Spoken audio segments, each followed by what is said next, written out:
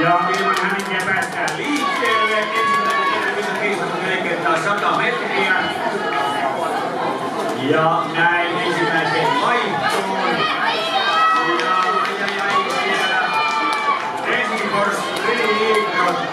HFK Free Idrot puolustomestari nähdäkseni. Oli vaikeuksissa vaihdossa, mutta. Katsotaan